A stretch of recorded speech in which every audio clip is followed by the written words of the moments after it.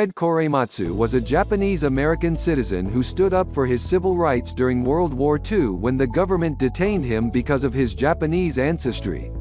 Who was Fred Korematsu? Fred Korematsu believed that the United States' decision to send Japanese Americans into internment camps during World War II was racial discrimination and a violation of the Constitution.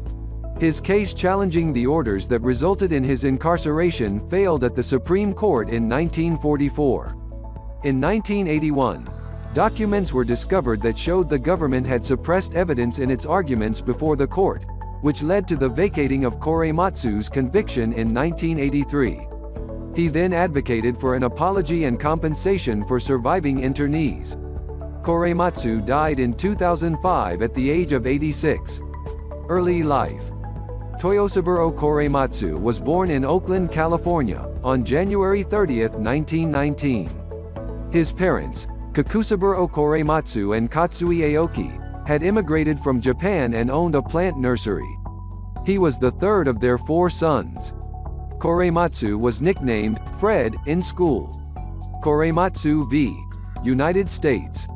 Following the Japanese attack on Pearl Harbor on December 7, 1941, and the subsequent entry of the United States into World War II, President Franklin D. Roosevelt issued Executive Order 9066 on February 19, 1942 stating the need for protection against espionage and against sabotage. It gave directions to prescribe military areas in such places and of such extent as he or the appropriate military commander may determine, from which any or all persons may be excluded. This resulted in the detention of around 120,000 people of Japanese ancestry, even those who were U.S. citizens, as the military believed some were likely to aid Japan in the war. Korematsu, a welder who lived in California, was ordered on May 3, 1942, to report to an assembly center for relocation to an internment camp. Though his family obeyed the directive, Korematsu did not. He instead adopted a fake identity and even underwent plastic surgery in an attempt to alter his appearance. Despite this, Korematsu was arrested on May 30, 1942, in San Leandro, California. He told authorities he'd planned to move away from California with his girlfriend. While Korematsu was behind bars, a lawyer from the American Civil Liberties Union asked him to take part in a lawsuit challenging the constitutionality of internment. Korematsu, who faced federal charges for not obeying a military relocation order, agreed.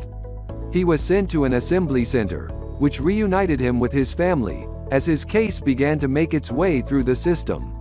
At his trial in September 1942, Korematsu, who'd attempted to enlist in the Navy, proclaimed his loyalty as a citizen. He was still found guilty and received five years probation. Korematsu appealed his conviction, but it was upheld by a federal appeals court. The case was taken up by the Supreme Court and arguments were held in October 1944. The decision came down on December 18, 1944. In a 6-3 vote, the court ruled that Korematsu's conviction had been constitutional. The majority decided that the detention of Korematsu and others was not due to race, but rather, real military dangers. The opinion stated, we could not reject the finding of the military authorities that it was impossible to bring about an immediate segregation of the disloyal from the loyal. One of the three justices in the minority noted that internment was spurred by the misinformation, half-truths and insinuations that for years have been directed against Japanese Americans by people with racial and economic prejudices, and declared he was dissenting from the legalization of racism. Incarceration and release. Korematsu spent his first months of detention at a horse racing track that served as an assembly center, where he was forced to live in a horse stall. He and his family were next transferred to the Topaz internment camp in Utah.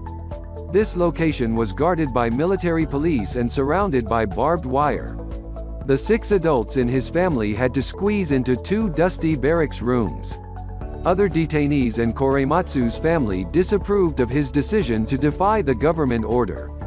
He later shared, all of them turned their backs on me at that time because they thought I was a troublemaker.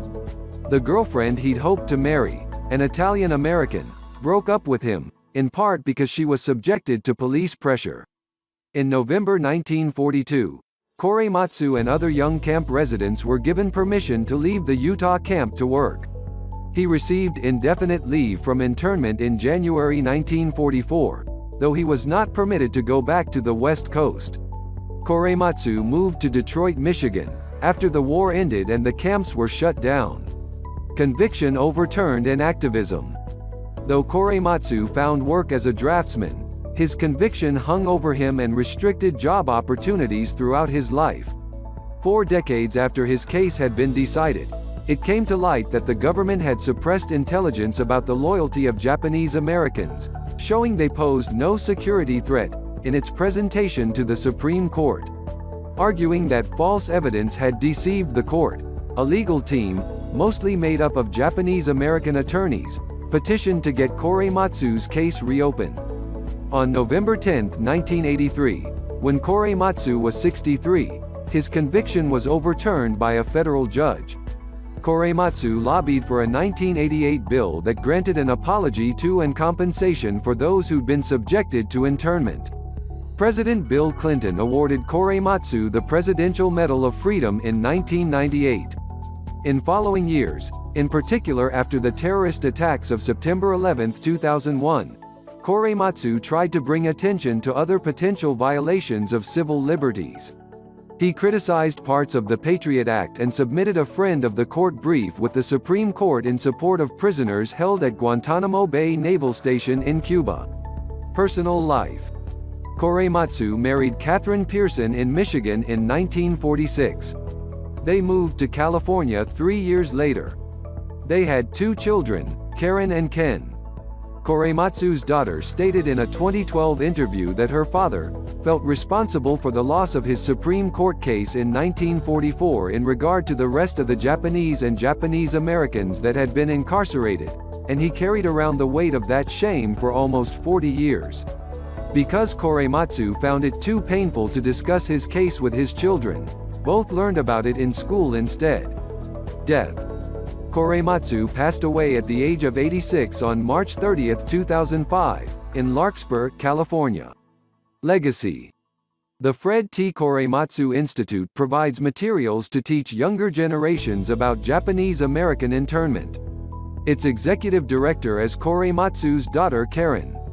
The middle grade biography Fred Korematsu Speaks Up. The biography Enduring Conviction. Fred Korematsu and his quest for justice and the documentary of civil wrongs and rights. The Fred Korematsu story share Korematsu's life. Multiple states and cities now recognize Korematsu's birthday as Fred Korematsu Day. It is the first day in the United States named in honor of an Asian American.